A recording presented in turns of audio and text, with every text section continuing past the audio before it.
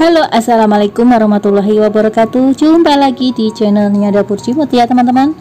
Dan di kesempatan kali ini Dapur Cimut mau menyajikan dan share resep cara membuat cemui. Ya pasti kalian uh, daerah Madiun dan sekitarnya pasti kenal ya.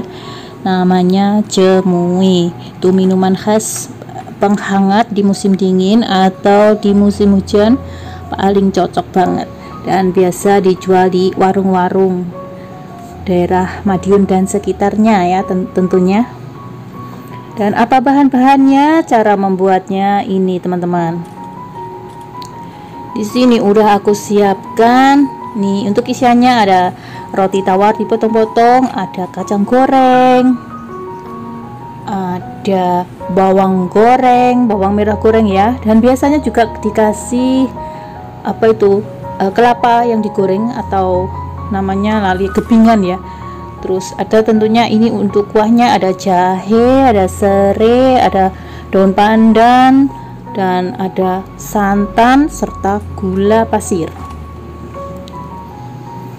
Nah kita langsung aja bikin ya.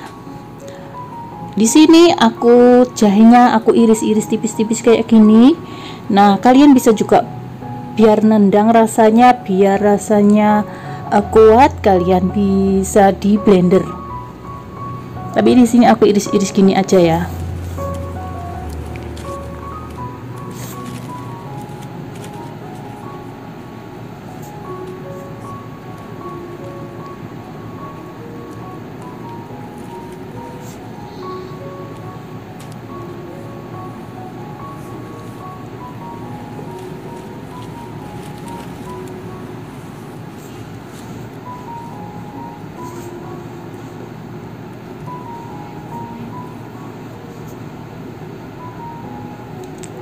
Nah, selanjutnya siapkan air.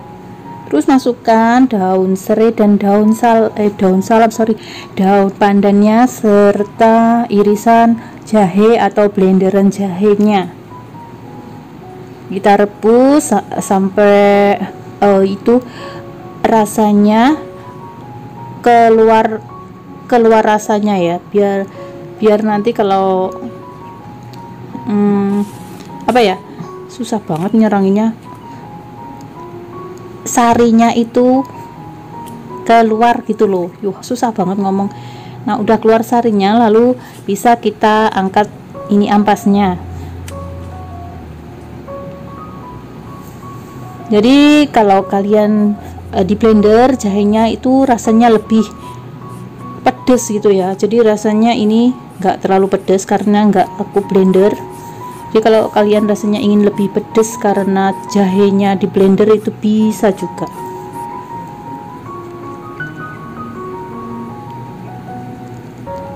Nah udah ampasnya udah kita ambil. Selanjutnya kita masukkan santan. Lalu kita rebus sampai mendidih. Tapi ingat ya jangan sampai pecah kita aduk-aduk supaya santannya nggak pecah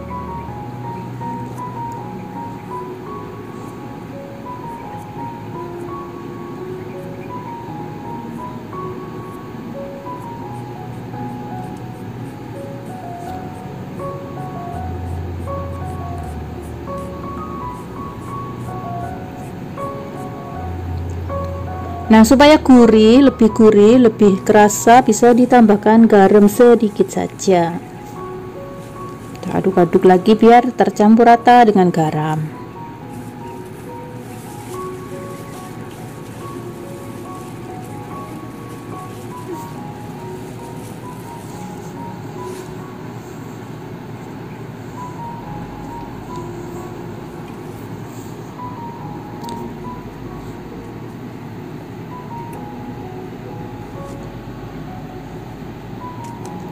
Nah, kalau udah mendidih begini, berarti udah siap kita bikin kita prepare jamuinya. Nah, biasanya kalau di warung kayak gini ya, natanya itu kasih gula dulu untuk manis dan uh, sesuaikan dengan selera masing-masing. Terus kita tambahkan potongan roti, roti tawar ya biasanya kacang goreng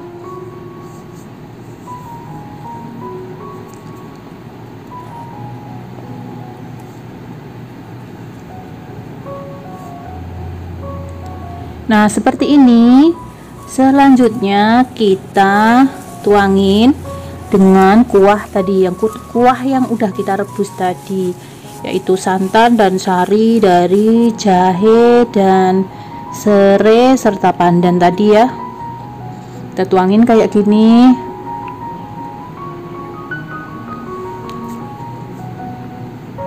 Terus terakhir kita taburkan bawang goreng atau gebingan.